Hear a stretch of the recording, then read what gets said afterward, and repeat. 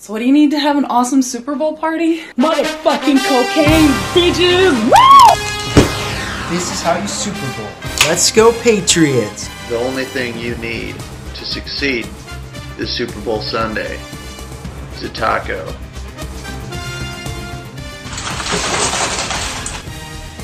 Woo! Cut! Put real vodka in the fucking glass. You're Perfectly good tape. I ruined it. I made it better. This film's shit.